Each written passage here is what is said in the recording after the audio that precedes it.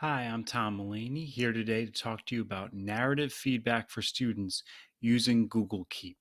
Now, this strategy uses Google Docs, and we'll get there in a moment, but I want to set this up by showing you labels in Google Keep. So notice to the left side of the screen, there are labels that I've created, and creating a label is very, very easy. You just hit plus, and then you can create a new label. You can also create labels as you're writing uh, individual Keep notes. Now notice I have a label here for Tom Student, a student I've created, and for the geological disaster assignment. Okay, so let's look at a Google Doc. Here's a Google Doc. It's a report I wrote years ago for a college course. And if I go to tools, then Keep Notepad comes up. So imagine you're giving a student feedback in something that they've worked on in Google Docs, and you do that with Keep. If you take a note, and I'll just name, name this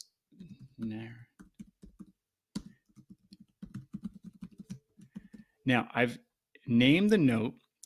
Notice here there's a link to the note right there. That's really cool. Here I can type in more long form narrative feedback for Tom student.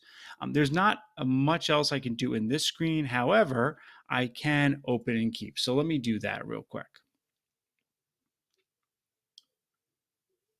So now that I've done that, it links here. What I would suggest is adding the student when you're ready.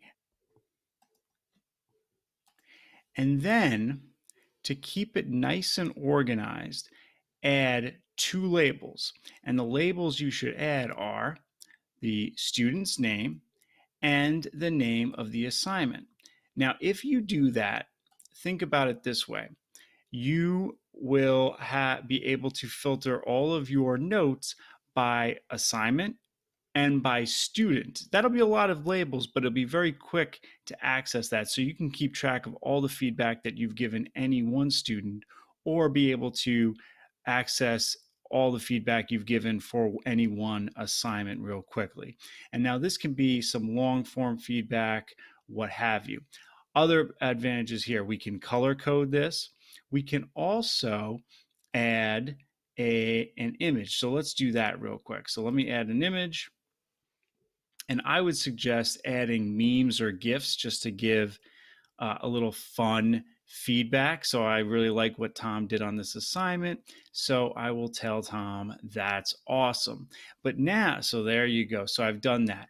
Now let's raise this to the next level. So if you have Google Keep on your phone or a tablet, then you can go to the Google Keep there. And if you notice, there's my feedback that I've given to Tom, and let's open that up and let's do a couple things. One, let us add a recording to this. Tom, I really like what you've done here. I hit play. I really like what you've done here. So now I've successfully added, oh, there you go. I've successfully added a sound to this note for the student. From there, I can add a drawing. And so now I'm in my drawing pad, and let's just say, I don't know, I'll just give Tom some checks, or I might highlight one of those checks, or I might say, you know, oh, I have some concerns. Anyway, you can draw, you can literally draw, and now that will become part of the feedback as well for Tom. So think about all the stuff I've given. I can type out some narrative feedback, I can draw some feedback, I can include images, I have recorded feedback. So every one of these could just be a recorded note because I did that in the app.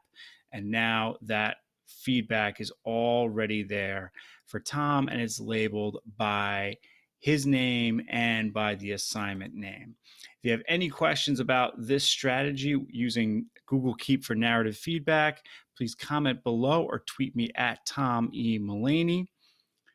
Please like, share, and subscribe. Thank you so much for watching.